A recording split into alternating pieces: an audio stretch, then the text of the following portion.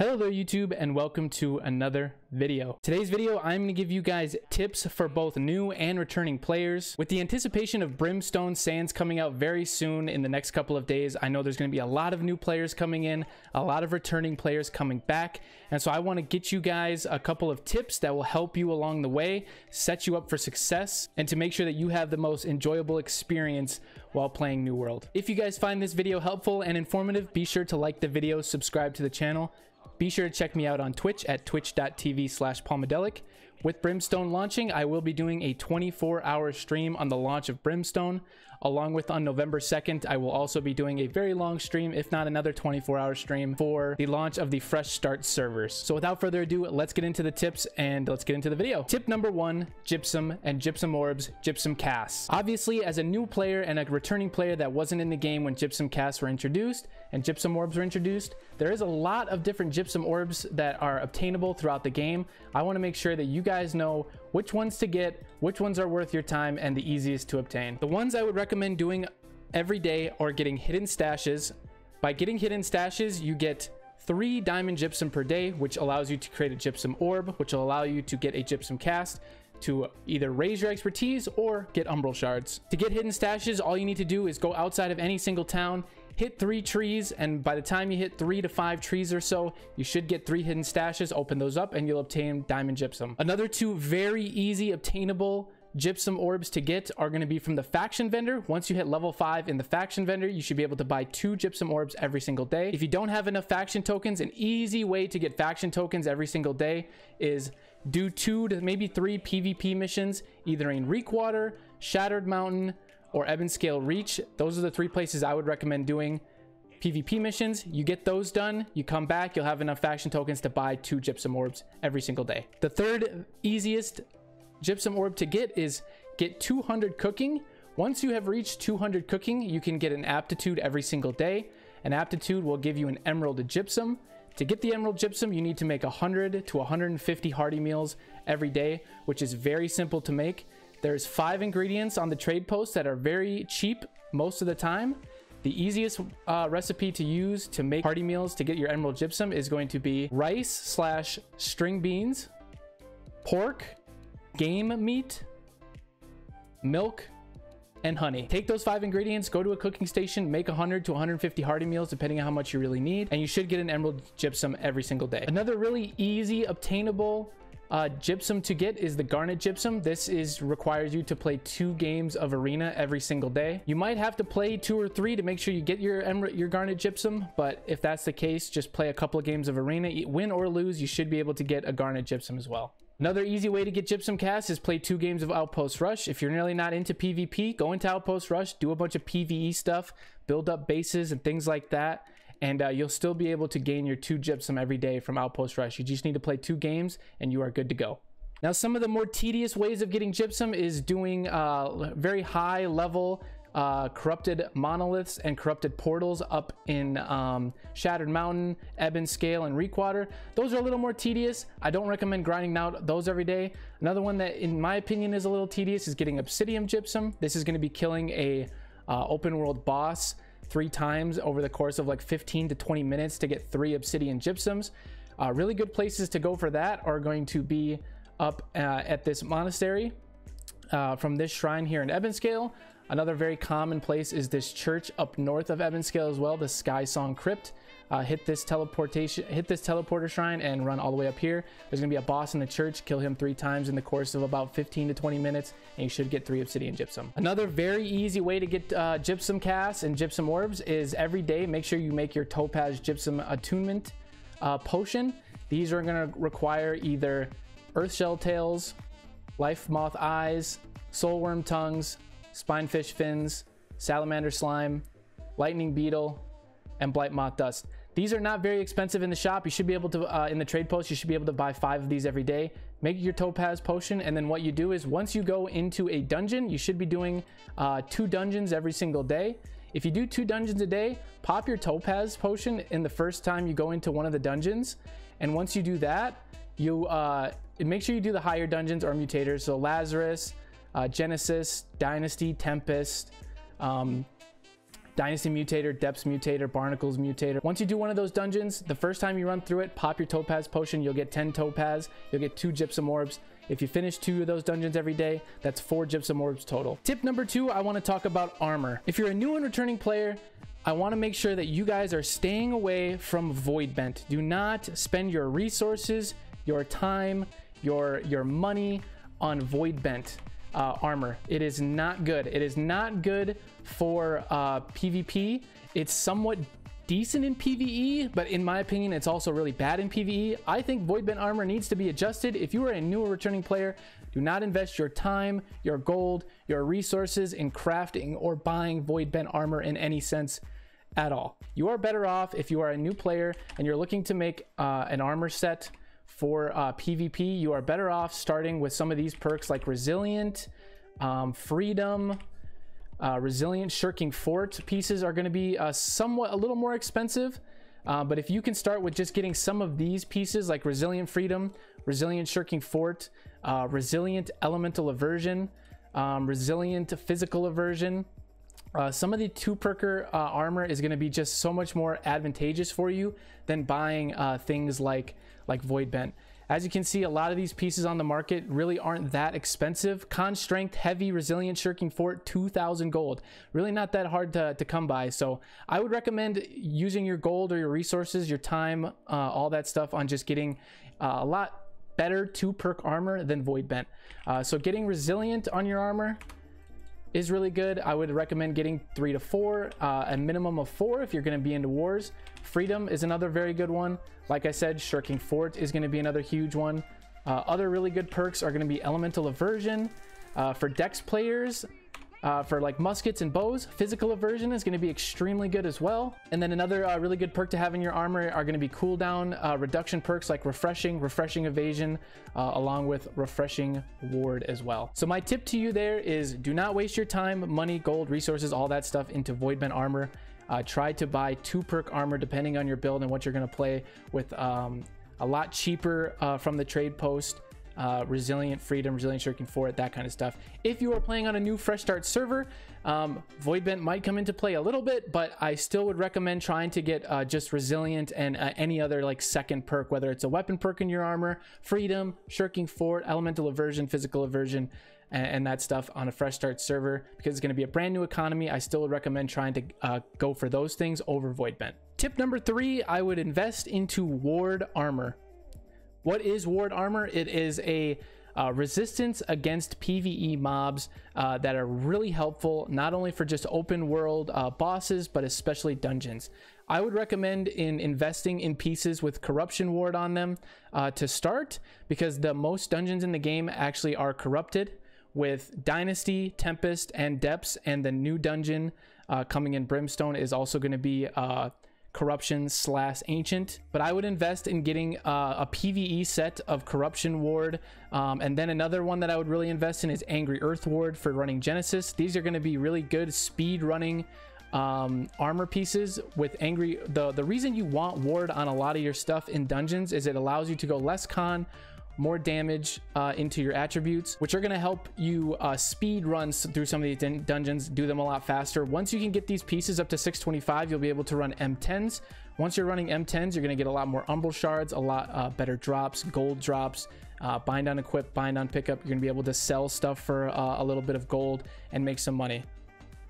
So my third tip is definitely start to invest uh, once you're starting to dip into PVE a lot more, a lot heavily, more heavily, once you reach level 60, is uh, invest in ward pieces for yourself.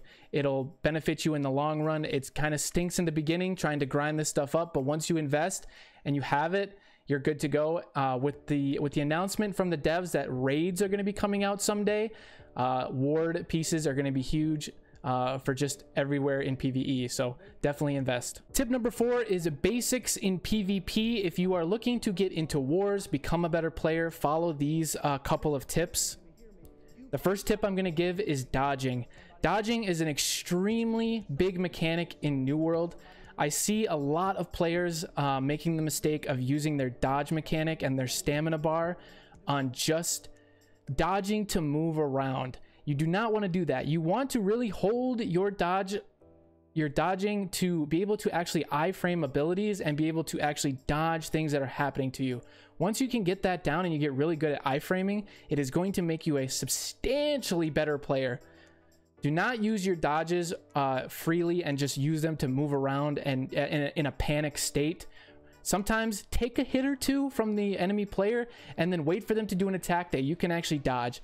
Once you do that, you're going to actually get away from that player instead of just uh, stamming yourself out um, and, and going into a gray bar state. This is the biggest tip I can give you in PvP because it is one of the most frequently mistaken uh, mechanics in the game of PvP players is players that stam themselves out constantly on a consistent basis and just it causes them to die in wars in opr in open world and things like that the reason i say stamming yourself out is you can see on the bottom bar there's that yellow bar for your stamina right once you dodge and you go into a gray state, you actually run slower, walk slower, all of that. You go into an exhaustive state. If you keep your stamina bar at yellow, you're going to make sure that you are running at, a, at the highest speed that you can to get away from your enemies at all times. So what you want to not do is go into that gray barred state because then you will become exhausted and because you are it takes a, a, decent amount of time for your stamina to come back you might die in that sense because now you one can't block or dodge away from the enemy so try to uh, try to avoid this at all costs.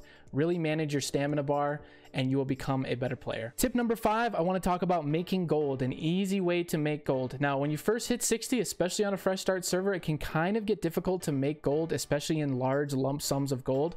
Um, fresh start server, this might be a little more difficult, but if you are on a server that isn't fresh start and you're on a server that people are transferring in and out of all the time. There's already big companies there. There's already a, a, a heavy PvP scene there. My biggest tip to you for a new or returning player is ask around all the companies that are on your server. Ask the big companies that own some of the bigger territories um, and ask if there's any way that you can help out to get paid by that company. Now, my biggest tip to you would be to approach them and not ask about wars and war slots and getting into wars. I would start by just saying, hey, I'm a new slash returning player. I'm not uh, crazy about getting into, into wars. That's something I'm looking a little more down the line at, but I need to make money and I'm wondering if I can help your company um, and be able to benefit from that. The way you do that is most companies in the game right now, especially the PvP heavy uh, war companies, are paying their players and paying their company players by by pushing influence to put uh, those territories into a state of conflict to be able to war in those territories. If you help those companies put uh, push bars and uh, do run PvP missions when they are to help uh, put their influence up to put uh, themselves into a, into a war in different territories, along with doing their invasions. Uh, a lot of companies pay pay out for that kind of thing. So so I would recommend approaching some of these companies and saying, hey, if I help you guys push influence, push your bars, uh, and do territory pushes along with doing like um, invasions and things like that, anything that I can help out with without doing wars, is there a way I can get paid every week, uh, a couple thousand gold? for doing that doing that stuff i promise you i'm sure there is a company out there that will pay you to help them with those things this is an easy way to uh, make a somewhat amount of gold for you uh, even if it's just a weekly basis of like 30,000 to 50,000 gold, that's going to be a lot for a new player. That's going to be able to help you invest in things like the ward gear I was talking about, two perk armor, all those things. Better weapons better stuff for pvp pve whatever it is. Tip number six if you are looking to get into wars i recommend these builds. If these are builds that you want to run and these that you want to play and you want to get into wars here are the builds that are mainly used in wars great axe warhammer melee bruisers both medium and light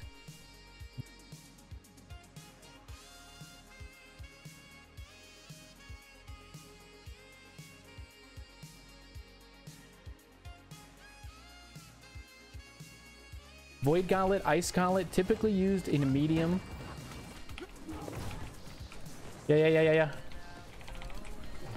I'm screaming left side. Oh, scream left side.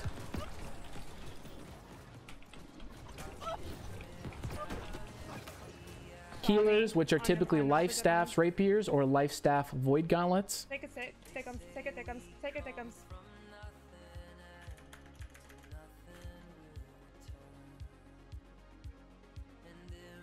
Blunderbuss Ice Gauntlets, typically typically played in either light, medium, or heavy. Yep.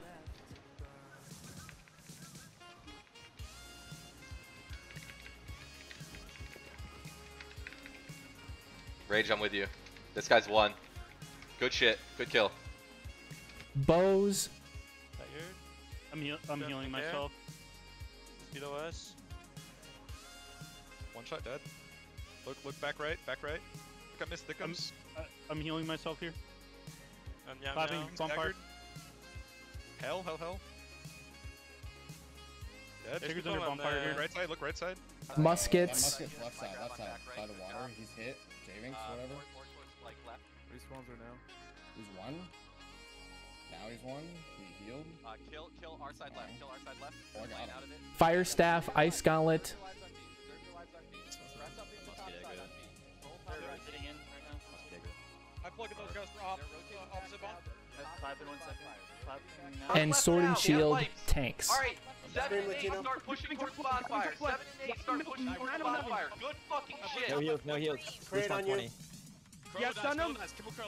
If you are looking to get in wars and you want to play in wars, I definitely recommend starting off trying to find a build that suits you the best and what you're most interested in playing, uh, because those are the most commonly used builds in wars. I'm not going to go fully in depth on each and every single build, but start out with playing those two weapons and try to figure out uh, what is going to be the best. Ask around, ask company members, ask people in global chat, ask friends, all that stuff of what the best armor is, what the best weapon perks are, those kinds of things. If you're interested in Void Gauntlet, Ice Gauntlet, or Great Axe Warhammer, I do have two YouTube videos explaining those builds right now. Be sure to check those out on my channel. But once again, my tip to you is if you're looking to get in wars, try investing into building your character around those builds. Those are the most commonly used builds in wars. That is going to be it for this video. Those are going to be my tips and tricks um, for new and returning players. Just some of the very small uh, things that I think new players should know coming into the game, along with just returning players that have haven't played for a long time. Things that have changed, and uh, I want to make sure that if you guys follow these tips, I promise you, you will see success in growing your character a little faster, building out your person, uh, being able to uh, complete a lot of different things within the game at a, at a much faster and things like that. So if you guys find this video informative, be sure to like the video once again, subscribe to the channel. Thank you guys for watching, and I will see you guys in the next video.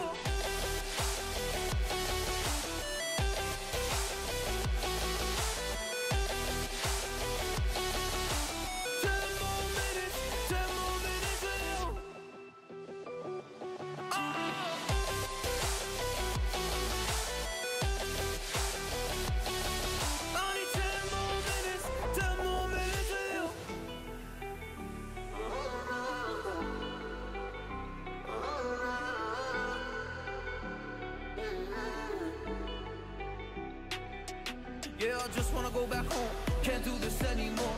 I can't get